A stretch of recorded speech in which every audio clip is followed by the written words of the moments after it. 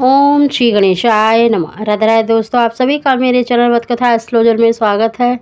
दोस्तों, आज की वीडियो में हम 2023 की सबसे भाग्यशाली राशियों की जानकारी देने वाले हैं, जिनको बहुत ही श्रेष्ठ संतान सुख के साथ साथ बहुत अधिक प्रबल योग बने हुए हैं कि इनको पुत्र की प्राप्ति हो सकती है। दोस्तों, आज की वीडियो में हम महीनों की जानकारी दे रहे हैं कि कौन से महीने में आपका सबसे प्रबल योग बना हुआ है। इस महीने में अगर आप चांस लेते हैं, यानी अगर आप संतान की प्लानिंग कर रहे हैं तो बहुत अच्छा योग बना हुआ है। आपको निश्चित ही मन वांछित संतान सुख की प्राप्ति हो सकती है। साथ ही आपको क्या उपाय करना चाहिए जिससे कि आपको मतलब निश्चित ही पुत्र की प्राप्ति हो? दोस्तों, ये जो हम आपको राशिफल बताने जा रहे हैं, देखिए, चंद्र की राशि पर आधारित है और चंद्र की राशि से ही अपना राशिफल अवश्य देखें।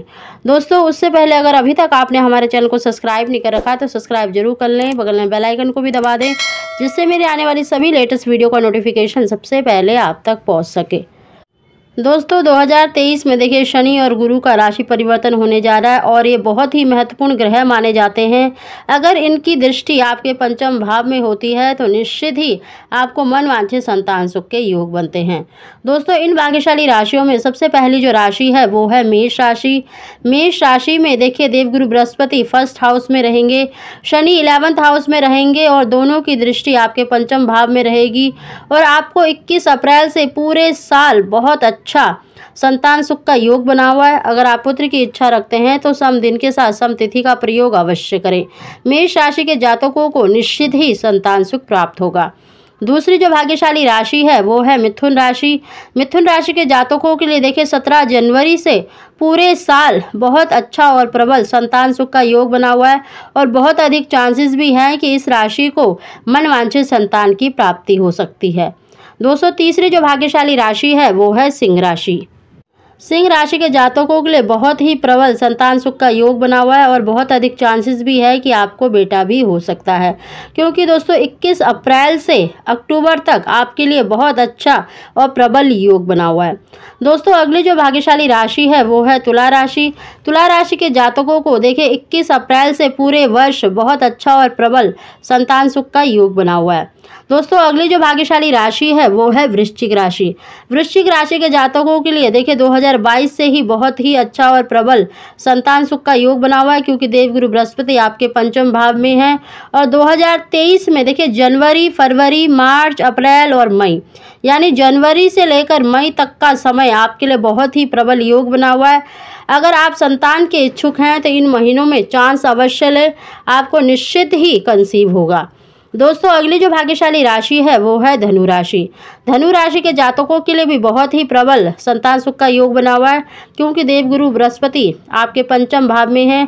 आपका पंचम भाव बहुत ही मज़बूत है और आपको 21 अप्रैल से पूरे साल बहुत अच्छा योग बना हुआ है। अगली जो भाग्यशाली राशि है, वो है मकर राशि।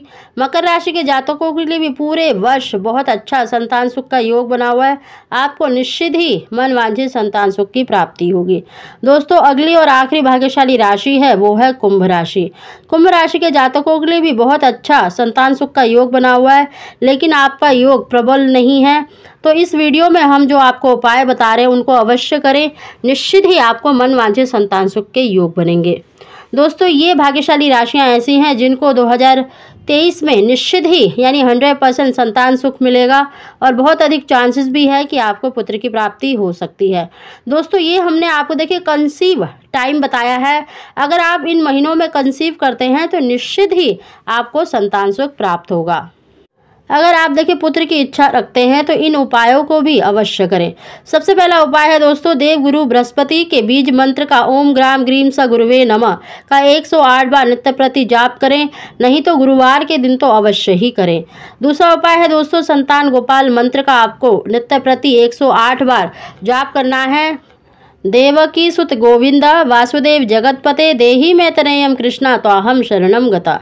दोस्तों, इसके अलावा भी अगर आप बृहस्पतिवार के दिन मतलब व्रत करते हैं, यानी केले की पूजा करते हैं, व्रत करते हैं तो निश्चित ही आपकी वंश की वृद्धि होती है, आपको निश्चित ही पुत्र की प्राप्ति अवश्य ही होगी। दोस्तों, इन तीन उपायों को करेंगे तो निश्चित ही आपको पुत्र प्राप्ति के योग बनेंगे। दोस्तों, वीडियो पसंद आई हो तो इसको लाइक शेयर ज़रूर करें। आप सभी को ओम श्री गणेशाय नमः।